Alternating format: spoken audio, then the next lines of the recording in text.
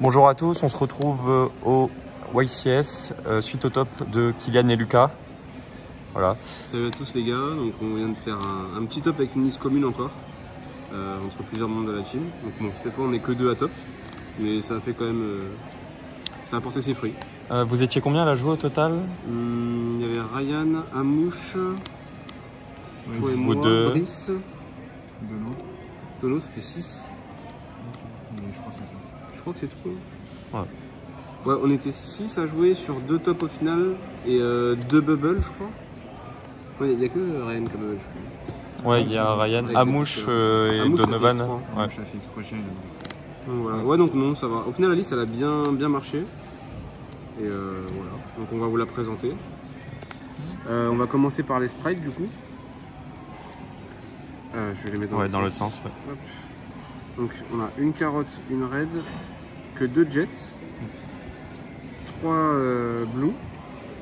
Euh, donc on a pensé au ratio de jet parce que dans le deck on n'a pas forcément envie d'avoir euh, d'avoir jet en main, c'est plus blue qu'on veut.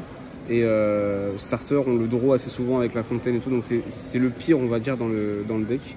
Donc c'est pour ça qu'on l'a mis que, que à deux. Ça a très bien marché, on l'a vu très peu souvent et c'était parfait. Euh, ensuite, euh, il y avait deux haches en entrap ainsi que trois imperm. Et euh, on a joué une carte euh, en main deck. On a choisi pour le, miroir et puis pour les tirs de jouer trois lava golem main deck. Ça a été assez, correct.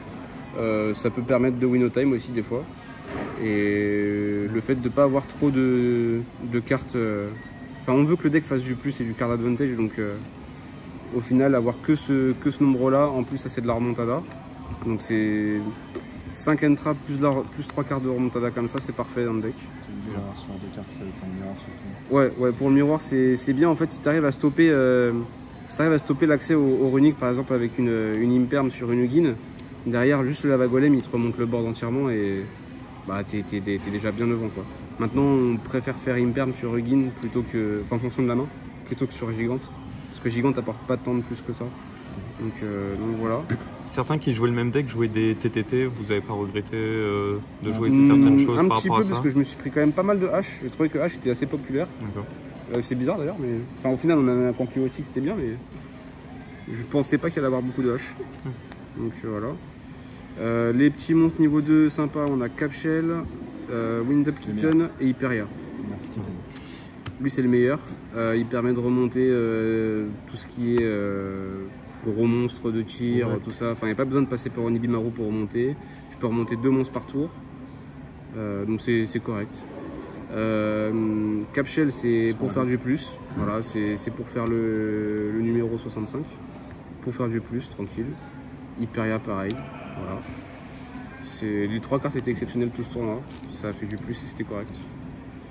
C'est ce qu'on veut avec le deck. Euh, après on passe à la partie runique. Donc on a deux sommeils, un marteau, une main, euh, trois de chaque après, les ailes principales. Ça va, on arrive à voir là? Ouais, c'est bon. Et deux fontaines. Euh, pour les ratios, on a décidé de jouer beaucoup de runiques parce qu'on joue lava golem, du coup on se prive de notre normal summon. Donc ça a bien marché. Les mains étaient, étaient vraiment bonnes avec plusieurs. Enfin, on veut plein de non runiques en main pour pouvoir activer le plus de cartes possible et bait un maximum l'adversaire. Deux fontaines c'était bien aussi pour ce tournoi-là. Euh, sommeil, sommeil était incroyable. Marteau, je l'ai jamais activé son deuxième effet. Euh, Ah. ça, ça m'a servi contre un match Lunder. Genre, il m'a fait, euh, il m'a fait, je crois que c'était Stri, ou enfin un truc qui tuto. Iglen, ouais. Prends Raiza. Je vais activer ça, il a discard son et du coup il avait plus de, il avait plus de il m'a regardé, il a invoqué quatre euh, petits oiseaux, il m'a dit bah toi. Donc euh, voilà. Euh, ouais donc le ratio, moi je changerais rien. Là, si jamais je devrais refaire un tournoi, il n'y aurait pas de ratio à changer au niveau des runiques. C'était cool. D'accord. Euh. Après, pour se rendre compte, les meilleures runiques en. Enfin, Slumber, elle est un peu particulière parce qu'elle est très correcte aussi pendant le T0 parce que c'est une des seules que tu peux activer directement. Ouais aussi, ouais, ça Voilà. te permet de charger ton cimetière Ouais. pour pouvoir. C'est euh, pour ça que celle-là un peu quoi. plus que, que d'autres aussi. Ouais, ouais. ouais. Euh, et puis après, bah, les Magie Splite. hein. On a pensé à jouer euh, que deux starters, mais on s'est dit au final, vu qu'on joue trois lava golem, autant maximiser le fait de pas norme. Donc euh, c'était correct. On a pensé aussi à jouer un deuxième smasher, mais au final, euh, même pas en side. Pas, pas forcément besoin. vu qu'on gérait déjà le miroir avec les cartes comme la Vagolem ou autre. C'est une carte. Ouais, c'est une carte breaky aussi, ouais. Même si des fois l'open c'est intéressant pour bait, mais c'est quand même breaky de ouf. Est-ce que le deuxième smasher il a pas été envisagé avant Kitten aussi? Et que Oui, aussi, Kitten ouais. ça a changé euh, ça? Aussi, ouais. Bah, Mm. Keaton et la Vagolem. Euh, donc voilà pour main deck. Euh, on va passer à l'extra. Euh, une Dark, une Masca, Abomination, 0 Boros, 3 Elfes. Ça c'est pour les links. Euh, on a pensé à jouer à Vramax. On s'est dit au final, euh, les gens en fait s'ils jouent à Vramax, eux de leur côté, ça leur fait une out naturelle dans leur extra juste en tapant sur Avramax. Donc euh, autant ne pas jouer ça et puis se baser sur, sur des valeurs sûres quoi. C'était les meilleurs. En X6 après on a deux gigantes, 1,65, un Onibimaru. J'ai pas besoin d'expliquer, ça fait partie de la, nouvelle combo entre guillemets euh, du nouveau T0. C'est du plus euh, toujours avec des negate effets donc euh, c'est archi correct. Onibimaru, bizarrement je l'ai pas sorti du tournoi. Vu qu'il y a Keaton en fait bah, maintenant il est un peu useless. Mais faut quand même le garder parce que des fois, enfin, il y a des situations obscures où tu te prends de cherise, où tu peux crash sur un truc pour remettre tes elfes dans le- dans l'extra et tout, donc c'est quand même correct. Et puis après, bah, on a les runiques. Donc on a 3 Ugin. On les a passés à 3 au final parce qu'on joue beaucoup de Ugin, enfin de, de runiques. Donc euh, voilà. Là maintenant, je pense que si on joue beaucoup de runiques, il faut obligatoirement en jouer 3. Ça permet de bait un maximum et de, de des niveau 2 toujours tout le temps. Donc voilà. Rien de. T'as quelque chose à dire sur l'extra ou. Non?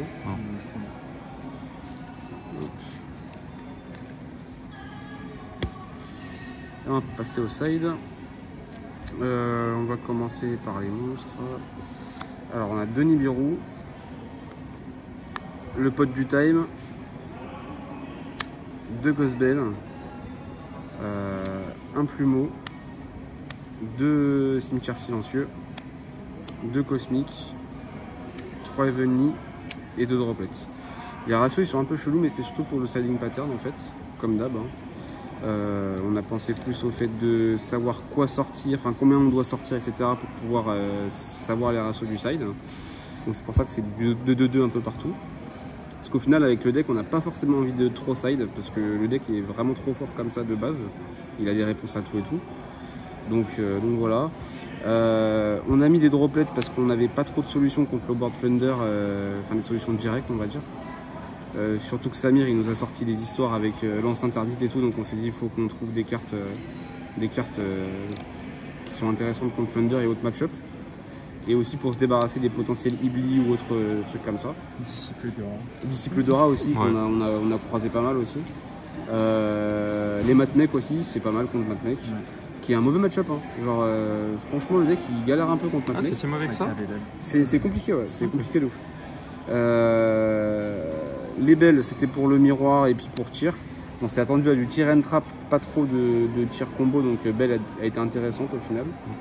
Euh, je l'ai pas trouvé. Enfin, de manière générale, en fait, la je les ai pas trouvées folles ce tournoi, non. à part Imperm. Euh, donc je sais pas si je la, je la rejouerai, je pense pas. Peut-être ça prendra une autre place ou je sais pas. Euh, bah ça, on, on l'explique plus, hein, c'est notre, notre poteau à tous. Euh, Nib, on l'a mis contre les decks combos, les, les tirs, tout ça, enfin tout ce qui spam un peu. Et contre le miroir quand on go first. Euh, il était cool. Euh, Les seules fois où je l'ai eu, il était cool. Voilà. Heavenly, pas besoin d'expliquer non plus, c'est une carte staple dans les sides maintenant actuellement. On a même pensé à la, main deck, mais au final, euh, on est parti sur la Vagolem. Euh, deux cosmiques, bah, du removal MP, toujours il en faut. Ça m'a fait gagner mon top 16. Le mec il fait tout pour, euh, pour draw 3 sur Fontaine. Et Il se prend le cosmique avec euh, KT7 et puis voilà, je remonte comme ça. Euh, Silent Graveyard, c'est dommage, j'ai pas joué beaucoup de tirs, mais cette carte-là elle est incroyable. Euh, j'ai joué contre, bah, c'était mon top 64 je crois. J'ai joué contre Despiacher Branded. Et bah, il s'est pris ça, il, il a, il a scoop turn, enfin scoop, scoop la game à cause de ça. Voilà, exceptionnel, même si tu joues contre Dritron ou autre, ça, pète le match-up directement. Euh, et un plumeau, bah, standard, hein, si jamais on tombe contre du gros deck trap, euh, voilà. Et même au final, en miroir match, elle est incroyable. Parce que le mec, si tu lui fais ça en première action, il est obligé de tribute son elfe. Enfin, sur la, on va dire sur le terrain normal, il est obligé de tribute l'elfe ou euh, le 65 pour pouvoir negate ça. Et derrière, bah, tu- c'est gratuit quoi. Ouais, battle, euh, tout. euh.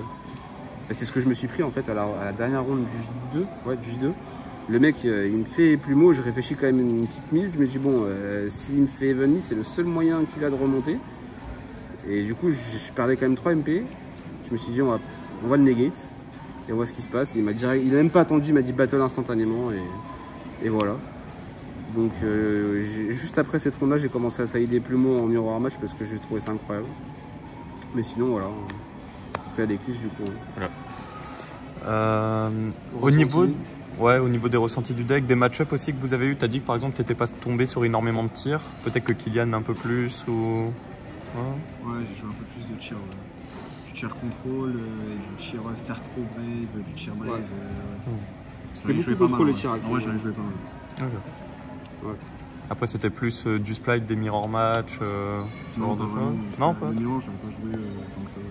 J'en deux ou trois. Ok. Des remerciements, euh, d'un Bah, dernier mot. Cimer à toute la team, hein, la euh, team. aux Français de nous soutenir aussi. C'est léger. Ouais. Et puis euh, on est là, on continue, on vous regarde avec des résultats et voilà. Et bah salut à tous et on se retrouve du coup au prochain YCS avec d'autres tops on espère. Salut. Ouais.